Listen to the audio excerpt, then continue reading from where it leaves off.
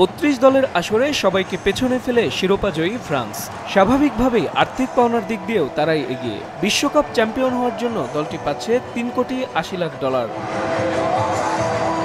এই অর্থের তিরিশ ভাগ পাবেন খেলোয়াড়রা।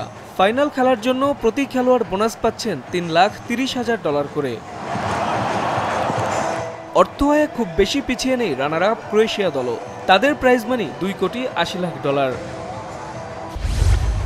তৃতীয় হওয়া বেলজিয়ামের দুই কোটি চল্লিশ লাখ ডলার, বিশ লাখ কম পাচ্ছে চতুর্থ হওয়া ইংল্যান্ড।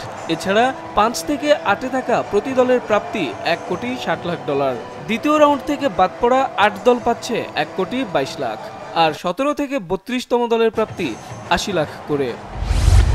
দলগুলোর প্রাইজ মানি খাতে ফিফার মোট খরচ চল্লিশ কোটি ডলার, যা আগের বিশ্বকাপের চেয়ে চার কোটি বিশ লাখ ডলার বেশি।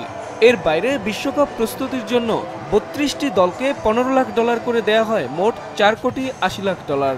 এর বাইরে ক্লাব বেনিফিট প্রোগ্রামের আওতায় ফিফার খরচ প্রায় একুশ কোটি ডলার।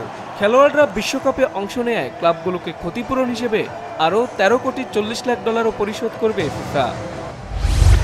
সব মিলিয়ে রাশিয়া বিশ্বকাপ ঘিরে ফিফার খরচ উনআশি কোটি ডলারের উপরে। যা দুই আসরের চেয়ে চল্লিশ ভাগ বেশি। ব্রাজিল বিশ্বকাপ থেকে ফিফা আয় করেছিল চারশো আশি কোটি ডলার। এবার তা একশো ত্রিশ কোটি বেড়ে পৌঁছেছে ছয়শো দশ কোটি ডলারে। এর অর্ধেক বা তিনশো বিশ কোটি ডলারই মিলছে সম্প্রচার সত্ত্ব থেকে। স্পন্সরশিপ চুক্তি থেকে একশো পঁয়ষট্টি কোটি ডলার। আর বাকিটা টিকিট বিক্রি থেকে। তাই খরচের পরেও ফিফার লাভ পাঁচশো কোটি ডলার।